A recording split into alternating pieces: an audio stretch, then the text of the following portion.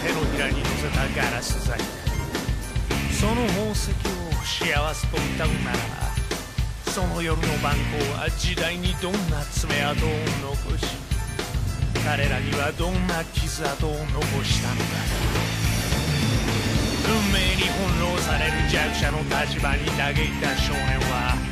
やがて力を欲するだろうそれは強大な力から身を守る強大な力でそれをも代だけ